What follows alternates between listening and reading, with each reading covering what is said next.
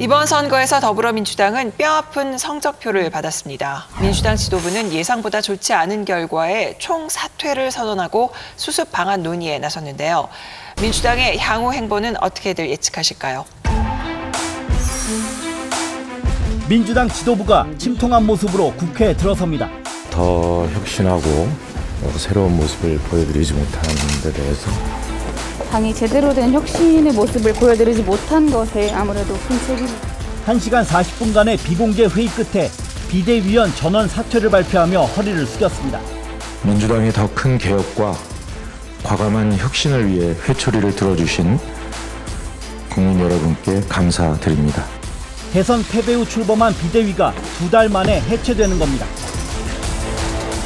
그 더불어민주당의 위기는 말하자면 냄비 속의 그 개구리처럼 자신에게 지금 닥쳐 있는 현재의 그 위기적 상황 잘못하면 더 폭망할 수도 있다는 것을 감지를 하고 있느냐 그리고 이에 대해서 적절한 대응을 하고 있느냐라는 질문에는 그렇지 못하다는 것이 제 자아 반성입니다. 그래서 어, 이미 경고음은 작년 재보궐선거에서부터 큰 경고음을 울리기 시작했고 대선 때도 계속했고 그리고 계속 어, 하고 있는데도 불구하고 지금 힘자랑 우쭐거림 뭐 이런 것들이 있고 어, 여전히 내로남불을 벗어나지 못하고 있고 그리고 그 책임지는 거에 대한 회피성 남 탓하고 또 남한테 뒤집어 씌우고 또 어, 끝에는 이명박 박근혜 때보다 낫다. 뭐 이런 식으로 어, 도망가는 그런 것이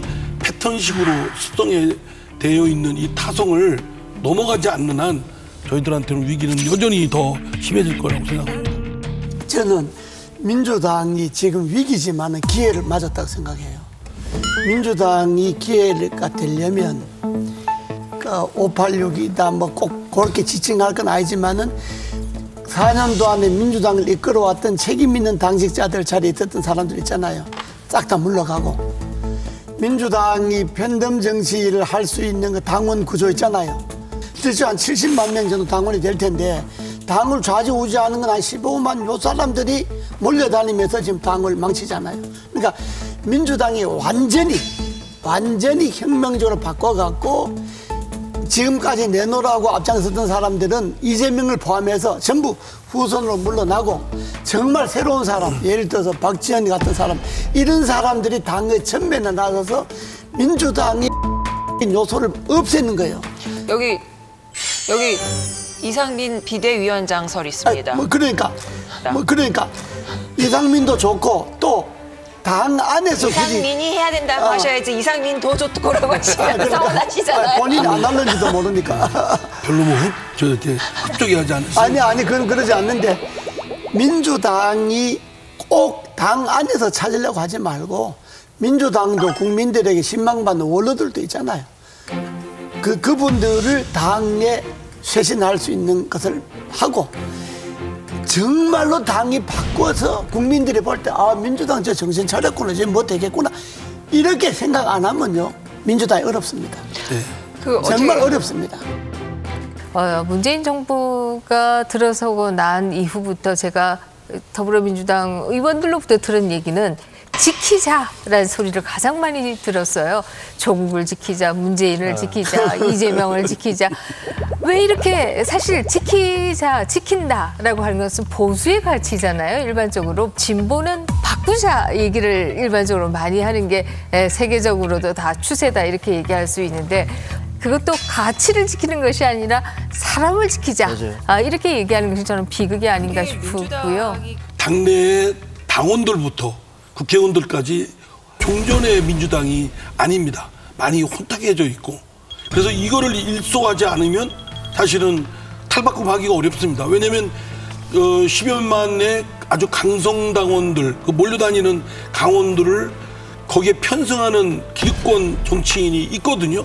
유력 정치인이 있습니다. 누구라고 하면 다 아시는 있고 또 그걸 이용해 먹고 있고요. 또 그리고 586 하지만 586에 관련된 여러 저 중진 의원들이 다 있지 않습니까? 핵심들. 예. 그러니까 이 사람들이 꽉 짜여진 고착화된 구조에서는 사실은 엄청난 그 외, 외부의 힘에 의해서 부서지지 않으면 사실은 그대로 갈 수밖에 없거든요. 민주당이 제일 먼저 없애야 될 그 팬덤 그걸 없애야 된다. 그것 때문에 당이 망하는 거죠. 그 박지원 위원장의 운명은 어떻게 될까요?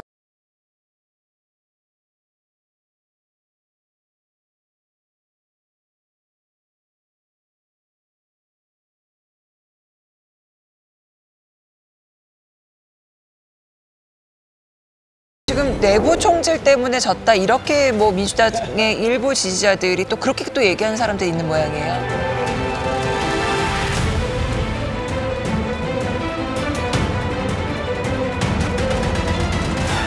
저는 박지원 그 비대위원장의 문제 제기는 뭐 그다지 뭐 그렇게 새로운 얘기도 아닙니다. 그냥 뭐 흔히 얘기하는 얘기를 뭐 되풀이한 것이고 국민의 신뢰를 회복하기 위해서라도 586 정치인의 용태를 논의해야 합니다. 아름다운 퇴장을 준비해야 합니다. 더 큰 문제는 문제 제기를 한 또는 이견을 제시한 거에 대해서 다른 당 지도부가 대응하는 태도가 엉망진창이었어요. 말하자면 집단적으로 몰이해서 공격을 해대고 마치 지도부 자격도 없는 사람인 것처럼 사실은 박지원 비대위원장은 우리 더불어민주당이 필요에 의해서 외부에서 영입한 분 아니겠어요? 그럼 극진하게 잘 해줘야죠. 그리고 그분의 얘기를 잘 들어 귀담아 듣고 설사 거기에 동조는 못하더라도 귀담아 듣고 소근소근하고 하는 태도를 보였어야 되는데 그게 아니고 그냥 그런 쓸데없는 얘기를 해가지고 하느냐 오히려 또 심지어는 내부 총질이니까 지금 문자를 오기를 이번 지방선거에 실패는 박지원한테 있다 또는 비대위한테 있다 해체하라 뭐 이런 얘기가 오는데요. 저는 뭐 비대위가 여러 가지 이제 부족하고 뭐 한계가 있었다고 생각합니다. 근데 그런 비대위 사퇴 문제도 정말 우리 일부에서 이야기하듯이 그나마 이 반반 했던 거다. 그 비대위 안 물러나야죠. 그렇지 않습니까? 아, 그 반반이라는 분들의 평가대로라면 네. 그분들은 근데 그 런 그- 얘기하세요. 박지원 그래, 비대위원장 그러니까? 때문에 더 이길 수 있는 걸 졌다. 그러니까 이제 박지원 그 비대위원장도 저는 박지원 비대위원장 한 말이 저는 뭐 대부분 맞다고 생각합니다. 그리고 그 박지원 비대위원장이 언론에도 이야기를 했지만 나는 내가 비대위원 정도를 하겠다고 했는데 나를 계속 설득해서 비대위원장을 시켰다. 그런데 그분들한테 무슨 책임 묻는다는 게 참 저는 하하. 너무 이거는 비겁하고 잘못된 거라고 비겁하다. 봅니다. 네.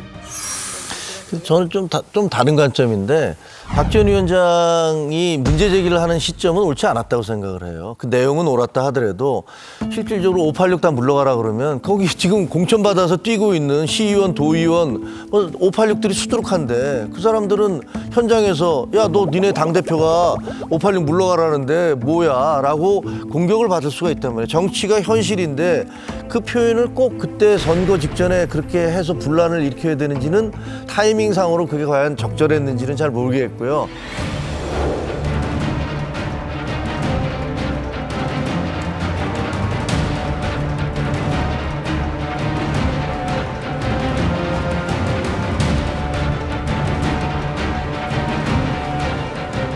두 번째, 당에서 외부 인사들 모셔올 때 뭘 기준으로 해서 오는지는 잘 모르겠어요. 그러니까 20대가 뭐 좀 인기를 끈다 그러면 이제 20대 들어오고 뭐 심지어는 광주에서 지난번 대선 때는 여고생을 그 광주 지역의 선대위원장, 공동선대위원장으로까지 불러다 앉히는 걸 봤는데 아, 무려 만 18세 여고생이시고요. 에, 광주 고등학교 학생의회 의장을 역임하셨습니다.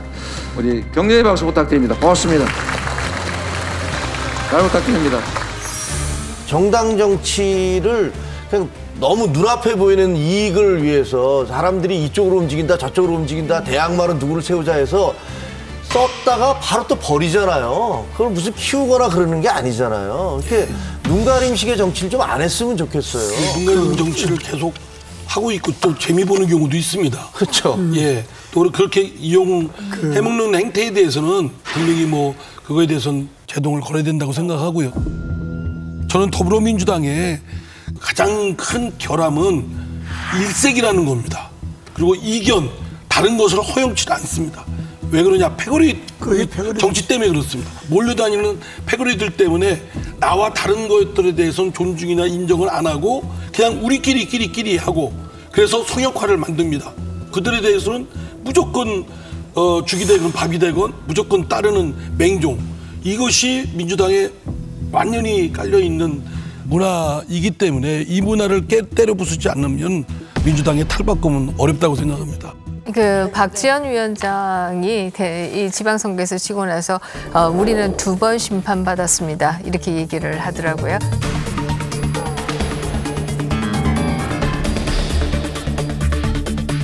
여기에 대해서 황교육 씨가 왜 남 얘기하듯이 하느냐.